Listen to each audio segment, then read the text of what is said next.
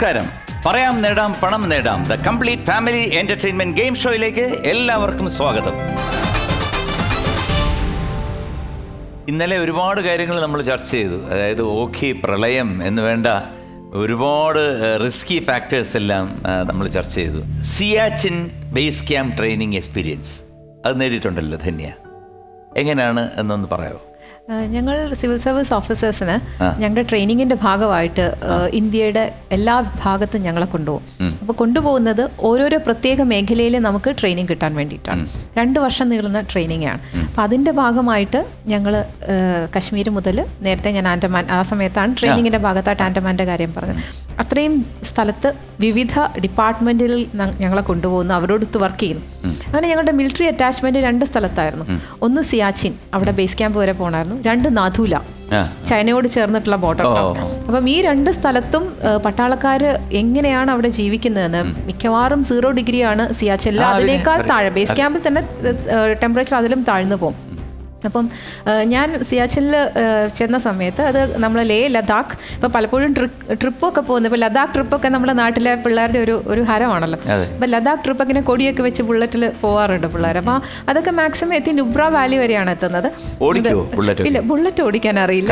Car ഓടിക്കാൻ അറിയാം. അപ്പോൾ ഈ പക്ഷെ കുട്ടികൾക്ക് അത് കൗതുകമാണ് ആൾക്കാർക്ക് അപ്പം അത് അവർ ചെയ്യുന്നത് കണ്ടിട്ടുണ്ട്. അപ്പം നുബ്ര വാലിക്ക് ശേഷമാണ് ഈ സിയാച്ചിൻ ഗ്ലേഷ്യറിലേക്കുള്ള യാത്ര. വളരെ ഒരു നമുക്ക് തന്നെ ചിന്തിക്കാൻ പറ്റാത്ത രീതിയിലുള്ള ഒരു ടെറൈനാണ്. ഹിമാലയത്തിന്റെ ട്രാൻസ് ഹിമാലയസിനും ഹിമാലയാസിന്റെ ഇടയിൽ കൂടെ ഉള്ള ഒരു വഴിയാണ്. വഴി എന്നൊന്നും പറയാനില്ല അങ്ങ് പരന്ന് കിടക്കുന്ന ഒരു ഭൂമി അതിലെ യാത്ര ചെയ്ത് നമ്മൾ എത്തിക്കഴിയുമ്പോൾ കൊടും തണുപ്പാണ്. അപ്പം ഞാൻ അവിടെ എത്തിയ ഒരു രസകരമായ അനുഭവം. ഞങ്ങൾ അവിടെ സിയാച്ചിൻ ഗ്ലേഷ്യർ കാണാം. അപ്പോൾ ഗ്ലേഷ്യറിൽ നമുക്ക് ഗ്ലേഷ്യർ ക്ലൈംബിംഗ് ചെയ്യണം. അപ്പം അത് അവർ പറഞ്ഞു തന്നു. എങ്ങനെയാണ്? അപ്പോൾ ബൂട്ടൊക്കെ കെട്ടി മുള്ളു പോലുള്ള ബൂട്ടാണ് ക്ലൈംബ് ചെയ്യാൻ വേണ്ടിയിട്ട്. അത് ക്ലൈംബ് ചെയ്തു. അപ്പോഴാണ് മനസ്സിലായത് ഒരുവിധം ഞങ്ങൾ എല്ലാവരും അഡ്വഞ്ചർ ഇഷ്ടപ്പെടുന്ന ആൾക്കാരാണ് അതുകൊണ്ട് എല്ലാവരും എൻതൂസിയാസ്റ്റിക് ആണ്.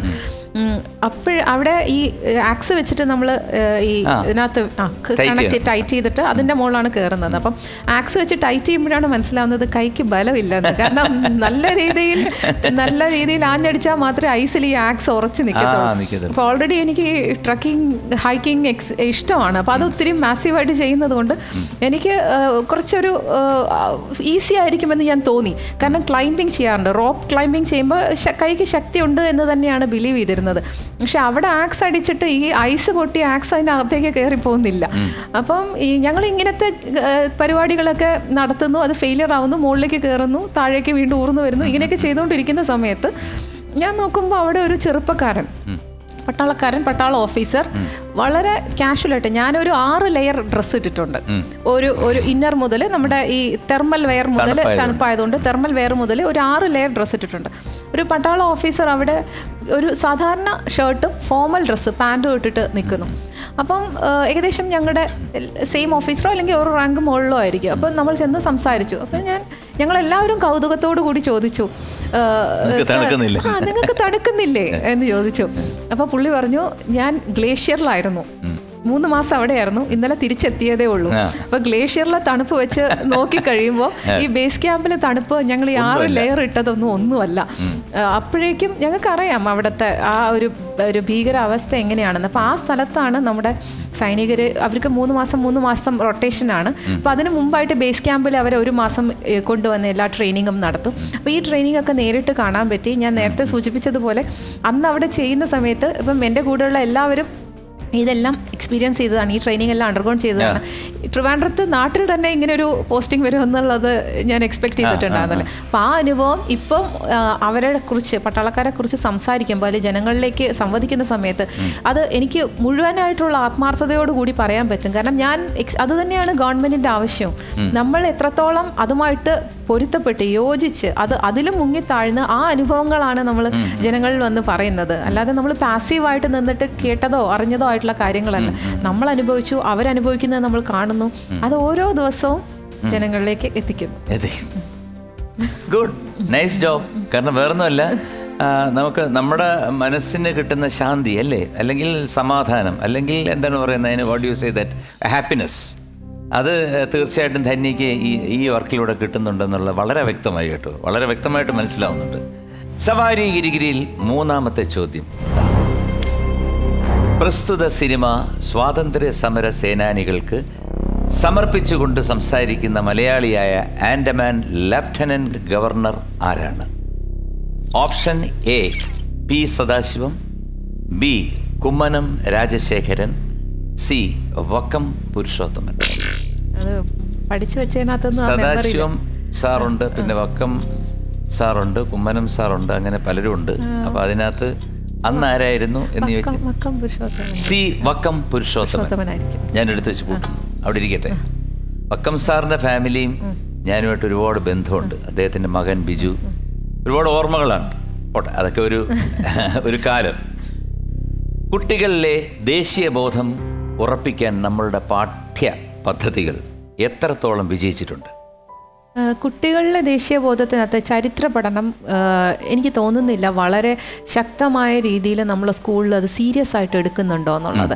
നമ്മൾ നമ്മുടെ ചരിത്രം അറിഞ്ഞ് തന്നെ വളരണം. അപ്പോൾ പലപ്പോഴും ഈ സ്പെയർ ക്ലാസ്സിനൊക്കെ ആണ് ടീച്ചേഴ്സൊക്കെ ചരിത്രവും ഭൂമിശാസ്ത്രമൊക്കെ വളരെ ഈസി ആയിട്ട് പോകുന്നതും ചിലപ്പം സയൻസ് ഞാനൊരു സയൻസ് ബാക്ക്ഗ്രൗണ്ട് ഉള്ള ആളാണ് അപ്പം സയൻസ് സബ്ജക്റ്റ് പഠിക്കുന്ന ആൾക്കാർ കുറച്ച് മികച്ച ആൾക്കാർ അല്ലെങ്കിൽ കുറച്ചുകൂടെ പഠിപ്പിസ്റ്റുകൾ കൊളോക്കിയലായിട്ട് പറയുമ്പോൾ ബാക്കി ഇപ്പം നമ്മൾ പ്ലസ് ടു എടുക്കുകയാണെങ്കിലും സയൻസ് സബ്ജക്റ്റ് ആണ് കുറേ എന്തൊക്കെയോ പഠിക്കാനുണ്ട്. ഹ്യൂമാനിറ്റീസ് ആണെങ്കിൽ നിങ്ങൾക്ക് അത്രയൊന്നും പഠിക്കാനില്ല എന്നൊരു കൺസെപ്റ്റ് ഉണ്ട്. ഒരിക്കലും അങ്ങനെയല്ല. ഇത് ഈക്വലി ഇത് നമ്മുടെ സൊസൈറ്റിയിൽ രണ്ടും ഈക്വലി വേണം. സയൻസും വേണം ആർട്സ് സബ്ജക്ട്സും വേണം. അത് രണ്ടും കൂടെ ചേരുമ്പോഴാണ് മനുഷ്യന്റെ ആ സൊസൈറ്റിയോടുള്ള കമ്മിറ്റ്മെന്റ് പൂർണമാവുന്നത്. ഇതിനെക്കുറിച്ചുള്ള ധാരണ ഉണ്ടാകുമ്പോഴാണ് അപ്പോൾ ചരിത്ര പഠനത്തിനകത്ത് ചിലപ്പം ജോഗ്രഫി ടീച്ചർക്ക് സ്പെയർ ടീച്ചറെ പറഞ്ഞു വിടും. ഇന്ന് ഹിസ്റ്ററി ടീച്ചർ വന്നിട്ടില്ല. ജോഗ്രഫി ടീച്ചർ ഒന്ന് പോയി അത് ക്ലാസ് എടുത്തേക്കും. എന്റെ കുട്ടിക്കാലത്ത് അങ്ങനെ ഉണ്ടായിട്ടുണ്ട്. അല്ലെങ്കിൽ ജോഗ്രഫി എടുക്കാൻ ഹിസ്റ്ററി ടീച്ചറെ പറഞ്ഞു വിടും. അവർ ചിലപ്പോൾ ആ ഒരു ചെറിയ പോർഷൻ മാത്രം വായിച്ചു വന്നിട്ട് എടുക്കും. അതല്ല ഇതൊരു മെമ്മറി ആയിട്ട്. ഇപ്പം ഞാൻ നേരത്തെ സൂചിപ്പിച്ചതുപോലെ കാലാപ്പാനി ചെന്ന് നിൽക്കുന്ന സമയത്ത് നമ്മൾ ഓരോ ദിവസവും നമ്മൾ സ്കൂളിലും കോളേജിലൊക്കെ പഠിക്കുന്ന ചരിത്ര പാഠങ്ങളാണ് നമ്മളെ രൂപീകരിക്കുന്നത്. അത് നമ്മൾ സയൻസ് പഠിക്കുമ്പോൾ നമ്മൾ ഇപ്പം ഇലക്ട്രിസിറ്റിയെ കുറിച്ച് പഠിക്കുന്നതോ അല്ലെങ്കിൽ ബാക്കി സയൻസിനകത്ത് ഹെൽത്തിനെ കുറിച്ച് പഠിക്കുന്നതോ പോലത്തെ കാര്യങ്ങൾ ചരിത്ര സംഭവങ്ങളെ കുറിച്ച് നമ്മൾ പഠിക്കുമ്പോൾ നമ്മുടെ ആ ഒരു ബേസിക് ആയിട്ടുള്ള ഒരു അടിത്തറ എല്ലാ സബ്ജക്റ്റിനകത്ത് ഒരു ബേസിക് അടിത്തറ ഉണ്ടാവുന്നത് നല്ലൊരു സിറ്റിസണിനെ രൂപീകരിക്കാനും അതുപോലെ അവർക്ക് സൊസൈറ്റിക്ക് നല്ല രീതിയിൽ കോൺട്രിബ്യൂട്ട് ചെയ്യാനും ഹെൽപ്ഫുൾ ആവുന്നുണ്ട്. അത് കുറച്ച് സ്കൂളിനകത്ത് തന്നെ അത് ശക്തമാക്കണം. ഈ പറഞ്ഞ കണക്ക് ടീച്ചേഴ്സ് ഒന്നും സ്കിപ്പ് ചെയ്യരുത് എന്നൊക്കെ ഉള്ളത് ചെറിയൊരു അത് ഇപ്പോഴുണ്ടോയെന്ന് എനിക്കറിയില്ല. പക്ഷെ എന്റെ കുട്ടിക്കാലത്ത് ഉണ്ടായിരുന്നു. അപ്പോൾ കുറച്ചുകൂടി സീരിയസ് ആയിട്ട് ഹിസ്റ്ററി സ്റ്റഡീസിന് കൊണ്ടുപോയാൽ നല്ലതായിരിക്കും എന്ന് തോന്നുന്നുണ്ട് സി വക്കം പുരുഷോത്തമൻ. ഉത്തരം ശരിയാണ്. Congratulations very good very. Good Savari ഗിരിഗിരിയിൽ നാലാമത്തെ ചോദ്യം. കാലാപ്പാനിയുടെ കലാ സംവിധായകൻ ആരാണ്? A. Thotta Tharani B. Jyothish Shankar C. Sabu Cyril. C. Sabu Cyril C Sabu Cyril. ഞാൻ എടുത്തു വെച്ച് പൂട്ടി അവിടെ ഇരിക്കട്ടെ. അദ്ദേഹത്തിന് നാഷണൽ അവാർഡ് കിട്ടിയതായിട്ട് അന്ന് വായിച്ചത് ഓർമ്മയുണ്ട്. അതായത് അതിനകത്തെ ഓരോ സീൻ എടുത്ത് നോക്കിക്കഴിഞ്ഞാലും വലിയ കൊട്ടാരങ്ങൾ അത് ഇത് അങ്ങനെ ഒരുപാട് സംഭവങ്ങളുണ്ട്. We feel that it's a real one but അല്ല. എല്ലാം സെറ്റ് ഇട്ടിരിക്കുന്നതാണ്. ഇത്രയും ബ്രഹ്മാണ്ഡമായിട്ടുള്ള സെറ്റ് ഇടുന്ന എനിക്ക് തോന്നുന്നു ഏക വ്യക്തി ഇന്ത്യയിൽ ദാറ്റ് ഈസ് സാബൂസർ സാബൂസറിലാണ് ഇപ്പം മരയ്ക്കാർ എന്ന ചിത്രത്തിനും ഈ കപ്പലൊക്കെ ചെയ്തിരിക്കുന്നില്ലേ? അത് മുഴുവൻ സാബുവാണ് അതൊരു പ്രത്യേക കഴിവാണ്. ആ സാബുവിന്റെ ഫാമിലി ഞാനുമായിട്ട് വളരെ ക്ലോസ് ആണ്. സാബുവിന്റെ അച്ഛനും സാബുവിന്റെ അമ്മയും അവർ രണ്ടുപേരും ഒന്നും ജീവിച്ചിരിപ്പില്ല. അവർ ശരിക്കും എന്റെ എനിക്ക് എന്റെ അഭ്യുതകാംക്ഷികളും മാത്രമല്ല എനിക്ക് ഒരുപാട് കാര്യങ്ങൾ പറഞ്ഞു തന്ന ഒരു വ്യക്തിയാണ് സാബുവിന്റെ അച്ഛൻ. അതുപോലെ തന്നെ ഒരുപാട് ആഹാരം തന്ന ഒരു വ്യക്തിയാണ് സാബുവിന്റെ അമ്മ. തികച്ചും ഒരു കലാകാരനാണ്. ഈ സ്ത്രീ സാന്നിധ്യം ഈ മിലിറ്ററിയിൽ എത്രത്തോളം ഉണ്ട്? അത് ഇനിയും വരണമെന്നാണോ? കൂടണം. അതിനുവേണ്ടി എന്ത് ചെയ്യണം? മിലിറ്ററിയുടെ സ്ത്രീ സാന്നിധ്യം എന്ന് പറയുമ്പോൾ നമ്മുടെ supreme commander of armed forces. ഇപ്പോൾ ഒരു സ്ത്രീയാണ് സാർ. Very good. നമ്മുടെ president of India. Droupadi Murmu. ആ. അപ്പം പ്രസിഡന്റ് ഓഫ് ഇന്ത്യയാണ് supreme commander of armed forces എന്ന് പറയുന്നത് അത് തന്നെ ഒരു സ്ത്രീയാണ്. അത് തന്നെ വലിയൊരു ഒരു റെപ്രസെന്റേഷൻ ആണ്. മിലിറ്ററിയിൽ സ്ത്രീ സാന്നിധ്യം കുറവാണോ മറ്റ് ജോബിനെ അപേക്ഷിച്ച് നോക്കിക്കഴിഞ്ഞാൽ അങ്ങനത്തെ കോൺഫ്ലിക്റ്റിംഗ് കോൺവെർസേഷന്റെ കാര്യം വരുന്നില്ല. കാരണം ഞാൻ നേരത്തെ സൂചിപ്പിച്ചതുപോലെ ഞങ്ങൾ സ്പോക്സ് പേഴ്സൺസ് ഇരുപത്തഞ്ച് പേരുണ്ട്. അതിനകത്ത് ഞങ്ങൾ നാലോളം സ്ത്രീകളുണ്ട്. ഞാനൊരു യൂണിറ്റ് ഒരു ഡിഫൻസിന്റെ ഒരു യൂണിറ്റ് ആണ് ട്രിവാൻഡ്രത്ത് കമാൻഡ് ചെയ്യുന്നത്. അപ്പം ഒരു ലേഡിയെ ഒരു യൂണിറ്റ് കമാൻഡ് ചെയ്യാൻ ഏൽപ്പിക്കുക എന്ന് പറയുന്നത് അവർ ചെയ്യുന്നുണ്ട് സർ ഉണ്ട്. ചെയ്യുന്നുണ്ട്. അല്ല ഞാൻ ചോദിക്കുന്ന ഈ പട്ടാളക്കാർ എന്ന് പറയുമ്പോൾ മിക്കവാറും എല്ലാം മെയിൽ ഡോമിനേഷനാണ് തീർച്ചയായിട്ടും. അതിന്റെ റീസൺ എന്താണെന്ന് വെച്ച് കഴിഞ്ഞാൽ പലപ്പോഴും ഫോർവേഡ് ഏരിയാസിലുള്ള ഡിപ്ലോയ്മെന്റിനകത്ത് കൂടുതലായിട്ടും മെയിൽ ആൾക്കാരുടെ തന്നെയാണ് വേണ്ടത്. കാരണം അവിടുത്തെ വെതർ പാറ്റേൺ മാത്രമല്ല നമ്മുടെ ഫിസിക്കൽ ചില ലിമിറ്റേഷൻസ് കൊണ്ട് അത് നമുക്ക് തീർച്ചയായിട്ടും അവരെ വിടാനുള്ള വിടാനുള്ളൊരു സാഹചര്യം ഇപ്പോഴില്ല. പക്ഷേ ഭാവിയിൽ ഒരു പക്ഷേ ഉണ്ടായേക്കാം. അത് അത് ഗവൺമെന്റിന്റെ ഡിസിഷനാണ് അത് അത് നമ്മൾ എന്താണോ ഗവൺമെന്റ് ഡിസൈഡ് ചെയ്യുന്നത് അതുപോലെ വരും. പക്ഷേ ഇപ്പോൾ അഗ്നിപത് സ്കീമിന്റെ ഭാഗമായിട്ട് അതർ റാങ്കിന് ഇപ്പോഴും ഓഫീസേഴ്സിനകത്ത് ലേഡീസ് ഉണ്ട്. ആർമിയിലും നേവിയിലും എയർഫോഴ്സിലും കോസ്റ്റ് ഗാർഡിലും ലേഡി ഓഫീസേഴ്സ് ഉണ്ട് ഇതിനോടൊപ്പം തന്നെ അഗ്നിപത് സ്കീമിനകത്ത് ഇപ്പം ലേഡീസിനെയും കൂടെ റിക്രൂട്ട് ചെയ്യാണ്. അത് അതുകൊണ്ട് തന്നെ പെൺകുട്ടികൾക്ക് ഇപ്പം ഞാൻ പത്രത്തിനകത്തൊക്കെ ഞാൻ കണ്ടു. ഞാൻ തന്നെ കണ്ട ഫോട്ടോസ് എല്ലാം ഞാൻ എനിക്കറിയാവുന്ന ഫോട്ടോസ് ഞാൻ പത്രക്കാർക്ക് ഷെയർ ചെയ്തു. അതായത് പെൺകുട്ടികളും ആൺകുട്ടികളും ഒരുമിച്ച് ആസാദി ഈ അഗ്നിപത് സ്കീമിന്റെ പരീക്ഷ എഴുതാൻ വേണ്ടിയിട്ട് പ്രിപ്പയർ ചെയ്യുന്നു. അപ്പോൾ പെൺകുട്ടികളും കൂടെ അതിനകത്ത് പ്രിപ്പയർ ചെയ്യുന്നത് കണ്ടപ്പം ഭയങ്കര സന്തോഷം തോന്നി. ഫിസിക്കൽ ഗുഡ് ആയിട്ട് കേരളത്തിന്റെ ചാർജായിട്ട് നിൽക്കുന്നെങ്കിലും ഡൽഹിയിൽ പോകാറുണ്ടോ? തീർച്ചയായിട്ടും സാർ എന്റെ ഹെഡ് ക്വാർട്ടർ ഡൽഹിയാണ്. ഡൽഹിയാണ്. അപ്പോൾ അപ്പൊ അവിടെ ഈ മന്ത്ലി എന്തെങ്കിലും റിപ്പോർട്ട് സബ്മിഷൻ അങ്ങനെ എന്തെങ്കിലും ഉണ്ടോ? ഫിസിക്കൽ ഫിസിക്കൽ ബൈ ഞങ്ങൾ ഫിസിക്കലി പോയി സബ്മിറ്റ് ചെയ്യേണ്ട കാര്യമില്ല. ഞങ്ങൾക്ക് ഡെയിലി റിപ്പോർട്ടാണ്. ഡെയിലി റിപ്പോർട്ടാണ്. അത് അതിന്റെതായിട്ടുള്ള രീതിയിൽ ഓഫീസ് കാര്യങ്ങളെല്ലാം. അതിന് എനിക്കൊരു ടീമുണ്ട്. ആ ഒരു ടീം മെമ്പേഴ്സ് ആണ് എന്നെ എന്റയർലി സപ്പോർട്ട് ചെയ്യുന്നത്. അപ്പം ഒരു ഡിഫൻസ് സ്പോക്സ് പേഴ്സന്റെ ഓഫീസിൽ നിന്ന് ഒരു ന്യൂസ് പുറത്തേക്ക് പോകുന്നു എന്നുള്ളത് എന്ന് പറയുന്നത് ഒരു ഹ്യൂജ് ടീം വർക്കാണ് അത് ഒരുപാട് പേപ്പർ ഇപ്പോൾ ഗവൺമെന്റിൽ എല്ലാ കാര്യങ്ങളും പേപ്പർ വർക്കാണ് അപ്പോൾ ആ പേപ്പർ വർക്കുകളെല്ലാം നടത്താനും എല്ലാ ഇൻഫർമേഷൻ കളക്ട് ചെയ്യാനും എല്ലാ ഇൻഫർമേഷൻ ഡിസമിനേറ്റ് ചെയ്യാനും എനിക്ക് നല്ലൊരു ടീമുണ്ട് and really hats off to my team for supporting me for disseminating good news about defence to the general public and media so C Sabu Sirin ഉത്തരം ശരിയാണ്. Congratulations very good very good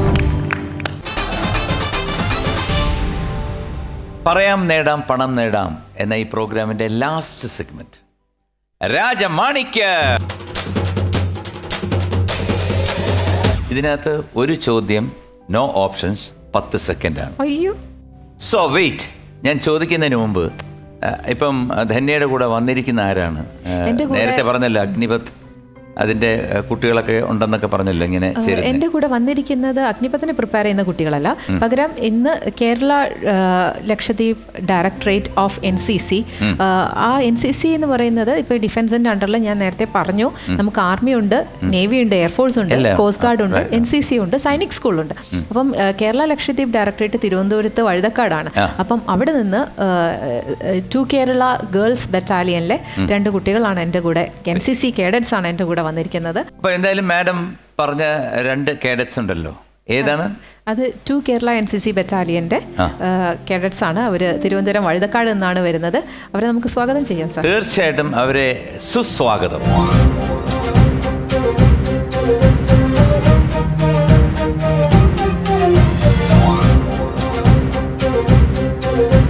നമസ്കാരം. നമസ്കാരം എവിടുന്നാണ്? ഏത് ഏത് കോളേജാണ്? ഞാൻ university college തിരുവനന്തപുരത്താണ് പഠിക്കുന്നത്. എന്താ പേര്? സോന വെൻസിലാസ്. എന്റെ പേര് ചാരുത. ഞാൻ ഗവൺമെന്റ് ആർട്സ് കോളേജിലാണ് പഠിക്കുന്നത്. രണ്ടുപേരും ട്രിവാൻഡ്രം ആണോ അതെ ട്രിവാൻഡ്രം. എന്താണ് ഈ എൻ സി സി ഇതിനകത്ത് ചേരാനുള്ള ഒരു മോഹം വന്നത് എന്താണ്? എനിക്ക് എന്റെ ഫാമിലിയിലാണെങ്കിൽ രണ്ട് കസിൻസ് ഞങ്ങളുടെ കസിൻ ബ്രദേഴ്സ് രണ്ടുപേര് ആർമിയിലുണ്ട് അപ്പോ അപ്പോൾ അവരുമായിട്ട് ഇടപെടുമ്പോൾ നമ്മൾ നോർമൽ നമ്മുടെ പേഴ്സൺസ് നമ്മൾ വ്യക്തികളെ കാട്ടിലും ഭയങ്കര ഡിഫറൻസ് ആണ് അവരിൽ ഫീൽ ചെയ്യുന്നുണ്ട് മീൻസ് അവരുടെ ലൈഫ് ആയിക്കോട്ടെ അവർ അവരുടെ ബിഹേവിയർ ആയിക്കോട്ടെ അവരുടെ സ്വഭാവം മറ്റുള്ളവരോട് സംസാരിക്കുന്ന രീതി എല്ലാത്തിനും ഒരു അച്ചടക്കമുണ്ട്. അപ്പൊ അത് കണ്ട് വളരെ ഡിഫറെന്റ് ആയിട്ട് തോന്നി.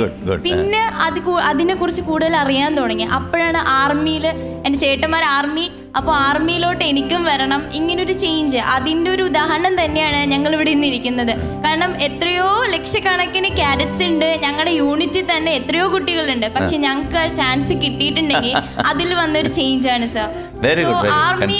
അതൊരു പാഷൻ പോലെ ലവ് പോലെ എനിക്ക് എന്താകണമെന്നാണ് ആഗ്രഹം? ആർമി ഓഫീസർ തന്നെയാണ് ആവണമെന്നാണ് എന്റെ ആഗ്രഹം sir very good thank you sir for you എന്റെ അച്ഛൻ ആർമിയിലാണ്. എന്റെ ചേട്ടനും ആർമിയിൽ എവിടെയാണ്? ആർമിയിൽ ഇപ്പോ പെൻഷനായി. അദ്ദേഹം സുബേദാർ മേജറായിട്ടാണ് പെൻഷനായത്.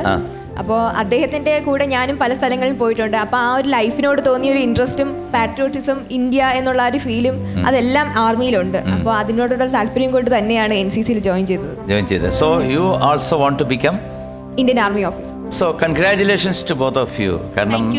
ഇതൊക്കെ കാണുമ്പോഴത്തേക്ക് ഞാൻ ആദ്യം ഇന്നലത്തെ എപ്പിസോഡിൽ തുടക്കത്തിൽ പറഞ്ഞ കാര്യം ഓർമ്മ വരുന്നു. കേരളമെന്ന് കേട്ടാലോ തിളയ്ക്കണം ചോര ഞരമ്പുകളിൽ. ഭാരതമെന്ന് കേട്ടാലോ അഭിമാനപൂരിതമാകണം അന്തരംഗം. ഒരുപാട് കുട്ടികൾ ഇവരെ കണ്ടിട്ട് നിങ്ങൾക്കൊരു പ്രചോദനം ഉണ്ടാകട്ടെ എന്ന് ഞാൻ ആഗ്രഹിക്കുന്നു. എം ജി സാർ എന്നോട് ചോദിച്ചിരുന്നു പെൺകുട്ടികൾ ഡിഫൻസിലുണ്ടോ എന്നുള്ളത് അല്ലെ? സ്ത്രീ പ്രാതിനിധ്യം. ഇവിടെ ഇരിക്കുന്ന രണ്ട് പെൺകുട്ടികൾ അവർ ഭാവിയിലുള്ള ഓഫീസേഴ്സ് ആവാൻ വേണ്ടി ഇപ്പോഴേ പ്രിപ്പയർ ചെയ്യാണ് നമ്മുടെ കാർഗിൽ വിജയ ദിവസം നമ്മൾ ഓരോ വർഷവും ആചരിക്കാറുണ്ട്. ആ സമയത്ത് കാർഗിൽ യുദ്ധത്തിൽ ആദ്യമായിട്ട് ഫ്ലൈ ചെയ്തത് ഒരു ഹെലികോപ്റ്റർ പൈലറ്റ് ഒരു മലയാളിയായിരുന്നു. അപ്പം ഈ ഒരു ഓർമ്മകൾ ഓരോന്നും പെൺകുട്ടികളുടെ പ്രസൻസ് ഇപ്പം ഇവർ വന്നതും ആ കാർഗിലിന്റെ ഓർമ്മകളും ഒക്കെ എടുത്തു വെച്ച് വളരെയധികം വനിതാ പ്രസൻസ് ഉണ്ട് എന്ന് തന്നെ എനിക്ക് ഒന്നുകൂടെ ഓർമ്മിപ്പിക്കേണ്ടിയിരിക്കുന്നു. ഞാനും ആർട്സ് കോളേജിലാണ് പഠിച്ചത്. ഇത് മൂന്ന് വർഷമല്ലേ ഇതിന്റെ ഇത് അതെ സർ മൂന്ന് വർഷം. ആ ഞാൻ ഏകദേശം ഒരു എട്ട് മാസം ഉണ്ടായിരുന്നുള്ളൂ. കാരണം എന്റെ മനസ്സ് മുഴുവൻ സംഗീതമാണ്. പക്ഷെ ഒരു പാഷൻ എന്നുള്ള രീതി ചേർന്നു. സംഗീതത്തിനോടുള്ള ഒരു അഭിനിവേശം കാരണം പിന്നെ മാത്രമല്ല ഇത് ഒക്കെ നടക്കുകയും പിടിക്കുകയൊക്കെ ചെയ്യുമ്പോഴത്തേ വേർത്തിട്ട് തൊണ്ടയൊക്കെ അടയ്ക്കുന്ന കാരണമാണ് ഞാൻ നിർത്തിയത്. പക്ഷെ ഇപ്പോഴും ഞാൻ എന്താണ് പറയുന്നത് ഈ പ്രൊഫഷനെ ഞാൻ ബഹുമാനിക്കുന്നു ആദരിക്കുന്നു. Thank you. Thank you sir. Will proceed with the last question ready ഒരു വീഡിയോ കാണാം. തീർച്ചയായും. നിങ്ങൾ ഇവിടെ വരുന്നതിന് മുമ്പ് ഉണ്ടായിരുന്നത് പോലെ ഈ രാജ്യം പല പല കൊച്ചു രാജ്യങ്ങളായി തല്ലിപ്പിരിയും എന്നല്ലേ? അതെ. ദാറ്റ് ഈസ് യുവർ ഇന്റൻഷൻ നിങ്ങൾ ഇന്ന് ഭരിക്കുന്ന ഒരു രാജ്യവും നാളെ സ്വാതന്ത്ര്യം കിട്ടിയാലും പുരോഗമിക്കാൻ പാടില്ലെന്ന ഫ്യൂഡൽ കോംപ്ലക്സ് അതിനാണ് ഡിവൈഡ് ആൻഡ് റൂൾ എന്ന പോളിസിയുടെ പേരിൽ മതവൈരാഗ്യത്തിന്റെ വിത്തുകൾ ഇന്നേ പാകിയിട്ടുള്ളത്. പക്ഷേ ഇന്ന് നിങ്ങൾ ചെയ്യുന്ന ഈ ദ്രോഹം നാളെ ഈ രാജ്യത്തിന് സ്വാതന്ത്ര്യം കിട്ടിയാലും ആളിപ്പടരും. That will destroy the country but there will be day every Indian will realise that India has only one religion that is patriotism great great so ചോദ്യം നോ ഓപ്ഷൻസ് ടെൻ സെക്കൻഡ്സ് പ്രിയദർശനോടൊപ്പം കാലാപ്പാനി എന്ന ഈ സിനിമയ്ക്ക് തിരക്കഥ നിർവഹിച്ചത് ആരാണ്? Your time starts now Damodaran. ഓർത്തെടുത്തോളൂ. അറിയോ? പേര് മറന്നുപോയി. ദാമോദരൻ എന്ന് പറഞ്ഞു. ഏകദേശം ശരിയാണ്. നമ്മളുടെ എല്ലാം പ്രിയങ്കരനായ ടി ദാമോദരൻ മാസ്റ്ററാണ്. അദ്ദേഹം ഇന്ന് ജീവിച്ചിരിപ്പില്ല. ഉത്തരം ശരിയാണ്. കൺഗ്രാറ്റുലേഷൻ ഇരുപതിനായിരം രൂപ സമ്മാനമായി ലഭിച്ചിരിക്കുകയാണ്. ധന്യ നേരത്തെ സൂചിപ്പിക്കുകയുണ്ടായി.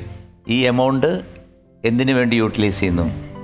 National flag day fund. Flag day fund എന്ന് പറയുന്ന ഒരു സംവിധാനമുണ്ട് മിനിസ്ട്രി ഓഫ് ഡിഫൻസിന്. അത് നമ്മുടെ വിരമിച്ച സൈനികരുടെ അവരുടെ ആവശ്യങ്ങൾക്ക് വേണ്ടിയിട്ട് അല്ലെങ്കിൽ അവരുടെ വെൽഫെയറിന് വേണ്ടിയിട്ട് ചിലവാക്കുന്ന നാഷ ഫ്ലാഗ് ഡേ ഫണ്ടാണ്. അപ്പം അതിനകത്തേക്ക് വേണ്ടിയിട്ട് ഈ തുക എത്രയാണെങ്കിലും അത് അമൃത ടി വി നേരിട്ട് അതിനകത്തേക്ക് സംഭാവന ചെയ്യുക എന്നുള്ളതാണ്. So thank you so much ഇന്നിവിടെ സമയം അവസാനിച്ചിരിക്കുന്നു. താങ്ക് യു സോ മച്ച് എന്തായാലും ഭാവിയിൽ വലിയ വലിയ ഓഫീസേഴ്സായിട്ട് മാറട്ടെ. നിങ്ങൾ നമ്മുടെ പുതിയ തലമുറയ്ക്ക് ഒരു പ്രചോദനമായി മാറട്ടെ. ധന്യയ്ക്ക് എല്ലാവിധ ആശംസകളും നേരുന്നു. ആസാദി കാമത് മഹോത്സവം എന്ന് പറയുന്ന എഴുപത്തഞ്ച് വർഷത്തെ നമ്മുടെ സ്വാതന്ത്ര്യ സ്വാതന്ത്ര്യത്തിന്റെ ആ ആഘോഷ പരിപാടിയുടെ ഭാഗമാകാൻ എൻ സി സി കാഡറ്റ്സിനും എനിക്കും അവസരം ഒരുക്കി തന്ന അമൃത ടി വിക്കും എം ജി സാറിനും വളരെയധികം നന്ദി. കുറേ കാര്യങ്ങൾ ഡിസ്കസ് ചെയ്യാനും കുറേ കാര്യങ്ങൾ ജനങ്ങളുമായിട്ട് സംവദിക്കാനും സാധിച്ചു. തീർച്ചയായിട്ടും. കാരണം ധന്യയും ബാക്കിയുള്ള ഇവരെല്ലാവരും കൂടെ വന്നപ്പം സത്യത്തിൽ ഒരുപാട് നമുക്ക് ഹിഡൻ ആയിട്ടുള്ള കുറേ കാര്യങ്ങൾ നമ്മളുടെ മനുഷ്യ മനസ്സിൽ അതായത് നമ്മുടെ പ്രേക്ഷകർക്ക് പങ്കുവയ്ക്കാൻ സാധിച്ചു. അതിൽ അമൃത ടി വിക്കും പറയാം നേടാം എന്ന ഈ ഷോയ്ക്കും വളരെയധികം സന്തോഷമുണ്ട് വളരെ അഭിമാനമുണ്ട്. So we will wind up with a patriotic song okay Jaya ജയ ജയ ജന്മഭൂമി. जय जय जय भारतभूमि जय जय जय जन्मभूमि जय जय जय भारतभूमि ആകാശഗംഗയൊഴുകി വന്ന ഭൂമി ശ്രീകൃഷ്ണ ഗീതയമൃദു തന്ന ഭൂമി വേദാന്ത സാര വിഹാര പുണ്യഭൂമി ഭാസുരഭൂമി ഭാരതഭൂമി ഭാസുരഭൂമി ഭാരതഭൂമി ജയ ജയ ജയ ജന്മഭൂമി ജയ ജയ ജയ ഭാരതഭൂമി ജയ ജയ ജയ ജന്മഭൂമി ജയ ജയ ജയ ഭാസുരഭൂമി സോ ഭാരത് മാതാ കി ജയ്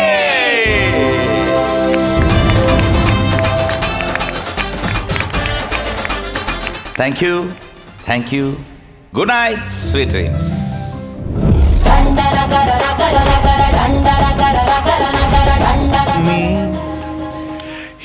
ഹിമമഴയായി വരൂ ഹൃദയം